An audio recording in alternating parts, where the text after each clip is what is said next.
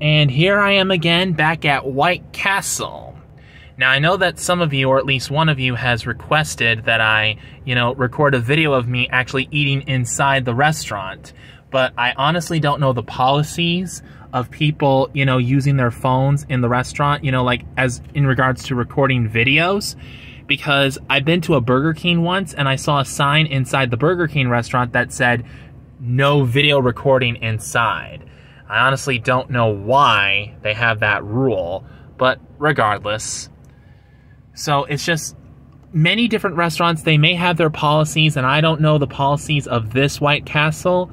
I think if anything, if I was going to record a video here at the White Castle outside this truck and outside the drive-through, um, what I would do is I would try and get a seat in the outdoor patio area, which you can't see unfortunately because it's at the front of the restaurant. We're at the back of the restaurant, and that's that. I gotta go now.